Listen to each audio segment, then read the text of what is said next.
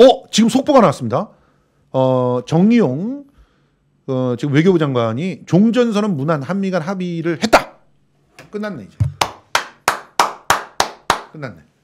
이것까지 이게 합해서 진짜 예, 연내 이제 합의를 해야 어, 임기 내에 음. 뭔가 가능성이 있기 때문에 예, 이제 연내가 합의가 됐고 예. 미국 쪽에서 좀 미온적이지 않았나 아는가 아는가 이런 분위기였는데 전혀 그렇지 않았어요. 예, 뭐 이제 합의가 됐습니다. 예.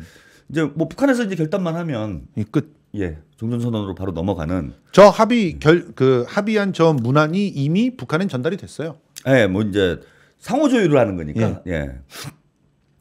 자, 그러면 이제 내년도 초에 좋은 소식이 드디어 내년에는 금강산 우리 아들 손잡고 한번 구경 가나 봅니다. 아, 저는 미국이 베이징 올림픽 외교적 보이콧을 하지 않았습니까? 예. 그래서 야 이거 종전선 좀 어려워지는 형국가 아니냐. 음. 어 베이징 올림픽에서 이제 어, 사자 음. 정상이 한번 조우를 하는 이런 이제 제일 자연스럽기 때문에 네. 어 이거 외교적 보이콧을 한다는 거는 어 어려워지지 않을까? 예, 어려워지지 않을까 이렇게 예상을 했는데 뭐 전혀 그것과 무관하게 음. 어, 지금 한미 간에는 어, 뭔가 공조가 이루어지고 있는 이런 형국이고요. 아, 너무 너무 좋아요. 중국에서 이제 또 뭔가 좀 가슴 뭐 설렐 것 같아요. 예. 중국 쪽이. 그렇죠. 아 이거 베이징 올림픽 뭔가 좀 흠집이 나는 거 아닌가 자신들도 좀 걱정을 했을 텐데 음. 이렇게 되면은 베이징 올림픽에 이제 외, 외교적 보이콧도 좀 철회될 가능성도 있는 음. 김정은 위원장 북한 쪽의 이제 반응에 따라서 음.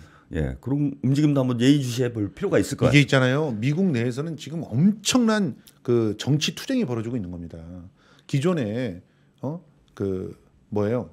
그 군사 복합체를 통해 가지고 미국을 장악해서 미국의 돈을 그냥 하마처럼 빨아들이고 있던 놈들. 이놈들이 절대로 자기네들의 주도권을 뺏길 수 없다라고 지금 어, 아둥바둥하고 있는 거예요. 특히 일본과 또 뭐 인도, 호주를 협박해 가면서 어, 이런 짓들을 갖다 벌이고 있는데 그런데 지금 한국과 그리고 또 어, 일부 미, 미국 내에서의 진- 새로운 그런 시대를 열어야 된다는 그런 어, 정치 세력들 이들과 어, 그리고 또 어, 기타 평화를 사랑하고 있는 다양한 정치 세력들 있잖아요. 유럽에도 있고 또 지금 사실은 그런 드- 사람들이 다 힘을 합해가지고 지금 미국 내에서도 뭔가 일종의 그 권력 체인지가 벌어지고 있다. 이렇게 봐- 봐야 되는 거예요. 전 세계가 권력 이동을 하고 있는 그런 순간입니다. 우리나라에서 어, 이재명으로 계층 간 권력 이동이 이루어지면 정말 대격변이 한국발 한국이 방아쇠가 돼가지고 전 세계를 재편하는 그런 상황으로 갈 수가 있지 않을까. 좀 그렇게 기대를 해보고 있거든요. 아, 그러니까 이재명 후보가 사회대전환 얘기를 했는데 예. 이제 주로 4차 산업혁명과 관련해서 예.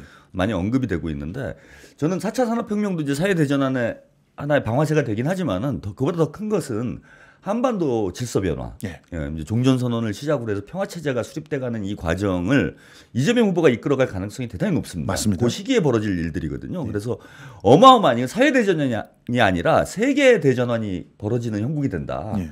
근데 이런 형국에 윤석열이 대통령이 된다. 난리가 나는 거죠. 뭐 답이 안 나오는 거죠. 예. 예, 이번에 뭐 미국 뭐 주한미 상공회의소인가요? 예. 예, 상공 아 한미 상공회의소 가가지고 중국 싫어한다 지금. 예. 이게 지금 대선 후보가 할 소리인가 지금? 그이 이따가 사람이. 해야 될 거니까 조금 아, 예. 스포일러 하지 마시고 황세웅님 성수형 개마보험 방송 비용 책임집니다. 감사합니다. 개마고원에서 꼭 방송하겠습니다. 와 거기서 시사 독설 한번 하시죠. 아, 안 갑니다. 추워 죽습니다.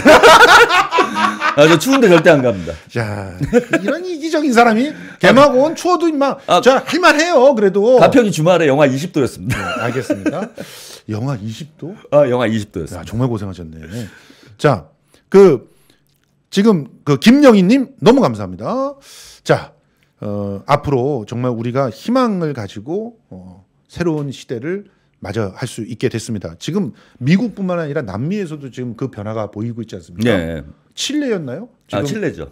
30대였죠? 서, 어, 35살. 어, 30대 그 어, 지도자가 등장을 하게 되면서 더군다나 이 지도자는 완전히 예, 미국의 어떻게 보면은 그 턱 밑에다가 칼을 꽂았다. 미국의 턱 밑에 칼을 꽂았다기보다는 정확히 말하면 펜타곤의 턱 밑에 둔산 복합제의 턱 밑에 칼을 꽂았다라고 칼이 볼수 길어요. 예. 네, 칠레. 그런 그런 상황이에요. 예. 그런 상황을 만들어 놨고요. 남미가 다 그렇게 지금 브라질도 이제 변화하고 있지 않습니까? 지금 뭐 룰라가 복귀한다. 뭐 이런 복귀 얘기도 가능성이 있고. 굉장히 예. 높아지고 있어요. 뭐 나오기만 한다면 지금 당선될 가능성 더 더더욱 높다고 그럽니다. 그렇습니다. 지금 이런 상황들이 되면서 전 세계가 대격변이 일어날 가능성이 높다. 전 세계가 평화와 공존의 시대로 재편될 때 이 기존의 그 기득권들 어, 전쟁과 무기로 어, 국민들을 갖다가 협박하면서 힘을 잡아왔던 그 기득권들 다 싸그리 진짜 몰아내야 된다 이런 생각들을 좀 해봅니다.